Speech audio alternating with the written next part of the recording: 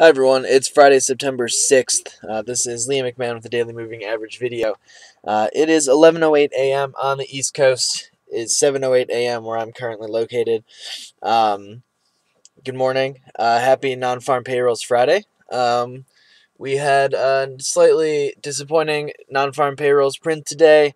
All right, 182 was the expectation, 169 was the actual number.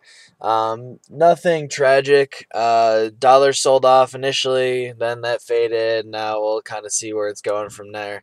Um, the only uh, major concern that I see out of this non-farm payrolls report uh, is the participation rate, uh, which is the number of people that are uh, in the are considered looking for a job or in the active workforce. Uh, that's how we measured the unemployment rate. All right, it's not how many people don't have a job out of the entire country. It's how many people don't have a job out of the people who are actively trying to have a job. All right, so we don't count retired people. Um, we don't count stay-at-home moms and stay-at-home dads. We don't count um, students like you know who aren't looking for a job. Uh, so the unemployment rate dropped, all right, um, by a tenth of a percent unexpectedly. The reason it dropped is the participation rate fell uh, to the lowest it's been since the 70s. Generally speaking, a low participation rate suggests discouragement in the labor force um, and, and generally a lack of jobs. Um, considering we've seen positive non-farm payrolls reports over the last several months, all right, slightly disappointing, but don't forget we still created over 160,000 jobs this this past month. Um, the participation rate dropping suggests that it may be more of an attitude problem than than uh, the a reality of the supply problem. Um, and I'm not sure that there's anything the Fed can really do to um, deal with an attitude problem in terms of their taper. Uh, so I don't think this report, uh, despite the disappointing participation rate and the slightly disappointing uh, um, headline number, I don't think this uh, report is going to do anything to delay whatever tapering may have been scheduled to occur in September. All right, so I don't think that puts that off the table. I don't think what we've uh, seen a definite delay. Uh, so the, we're going into the Fed meeting with the same anticipations I think we had uh, before this report. All right, let's gonna go. Let's go take a look at a couple charts. Please take a moment to read over the risk disclaimer, which should now be on your screen. Uh, then we'll run through some decent setups that uh, may be appearing for next week. All right, all right, all right. So let's go to daily chart. Let's take a look at dollar yen. Dollar yen was the chart of the day yesterday. This is basically exactly what I suggested we may do. All right, uh, said look for a on a bad non-farm payrolls. Look to buy uh, dollar yen at the 50-day EMA, which is 98.48. Our low is 98.53. All right, I was off by five pips. I can't get much better than that um, in terms of, of precision. Uh, we are now bouncing. The question is whether or not we'll continue to bounce. All right, we've had a decent reaction off of that triangle retest, off of this 200 period EMA on the 4 hour chart, and off of the 50 day. All right, so this triangle, obviously, huge targets. All right.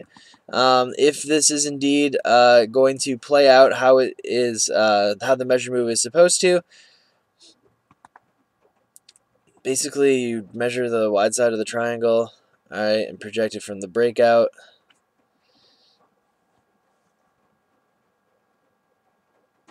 It won't even let me do it on the forward chart. Hold on.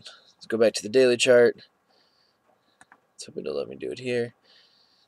It's, I mean, it projects new highs above 106. Alright, I'm not completely convinced that we'll get all the way up there. Alright, just shy of 108 actually is the projected target. Um, significant risk offloads will uh, make that a little bit more challenging, but uh, that is the projected target. I do like dollar yen for longs. Um, going forward, definitely a trade you should keep your eye on if you didn't get it uh, from the chart, chart of the day yesterday.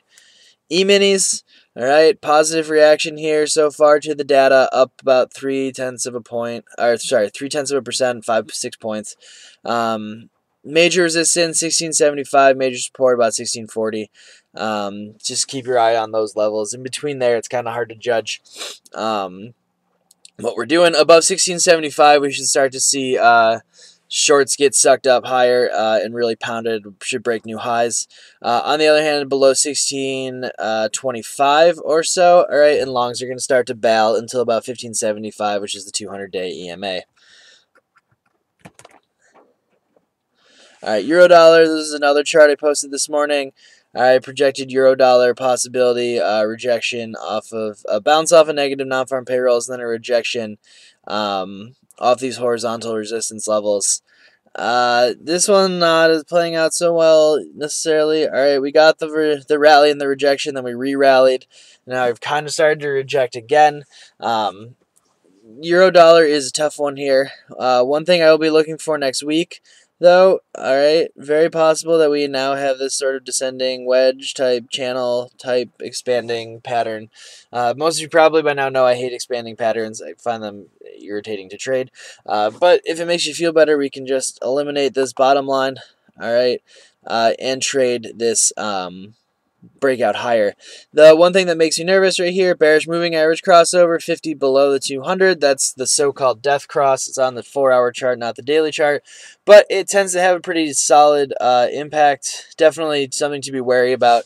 Those resistance levels, 132.12 and 132.44, uh, they should cap Euro pretty well. I would be a little bit cautious about being aggressively long the euro dollar uh, until at least we clear this 50 period EMA here. That's 132.12. Uh, above there, we might be able to start uh, basing for another move higher. Uh, but until that point, it seems like shorts have the edge on the euro. Aussie, on the other hand, all right, looks like the Bulls are in control. Um, nice uh, four-hour break of this uh, first head and shoulder, inverse head and shoulders neckline. All right, we broke, we hold. Next stop is uh, 93. 93 is significant, though. That is a major, major support level. I really can't emphasize enough how important the range between 93 and 93.50 is. Um, those, if we get above 93.50, same deals with ES uh, here uh, on the intraday, we will start to see uh, shorts bail and get sucked higher. All right, we'll start to hit some stops as we break these previous highs or this rally high, uh, and it looks like 97 would be the next stop, this 200-day EMA. You can see we battled. All right, we got back above the 50.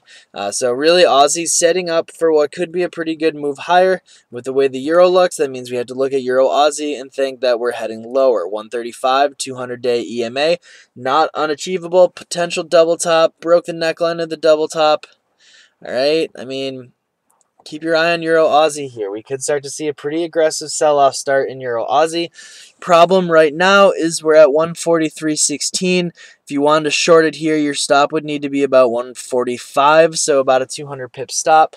Probably, hopefully, not something that you do regularly, so keep your eye out for potential uh, retracements, consolidations to maybe look for Euro Aussie shorts. Kiwi dollar. All right, same deal 80 80, 200 day EMA, and then 81 range highs. Those are the resistance levels. They've been the resistance levels. We've rallied very well on this pair, uh, but I would not be looking to join this move now. Uh, rather, I'll be hoping for another 90 or so pips higher, and then I might start looking to fade it. Pound dollar. Okay, breakout here, maybe continuing higher, looking for about 160.34. Uh, another one that you want to be cautious about, next major level here, 157.48. Dollar CAD 104 key support. All right, we're approaching it. Below there, 102.41 is the big, big, big support level.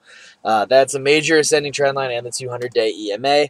102.41 uh, is a huge area for a bounce. If we get there, I have to start liking longs uh, pretty aggressively at that level. Euro yen. Okay, holding still um, this descending trend line just phenomenally. Um, wish I'd been sort of paying better attention to that. Um, but now we're approaching support level, so keep your eye on uh, Euro Yen here for a breakout or bounce off of support. It's going to be an interesting fight between Dollar Yen and Euro Dollar to see which way Euro Yen gets driven. Let's do Kiwi Yen. Uh, let's do Pound Kiwi. Kiwi Yen very similar to Euro Yen pound kiwi. Okay, bouncing hard off the 50 day. Potential double top here at 2. double top neckline is down here around 1.9. Big pattern. Uh, I'm not keen on trading pound kiwi when it's like this. I mean, this it's just really aggressively moving in a range here. Um,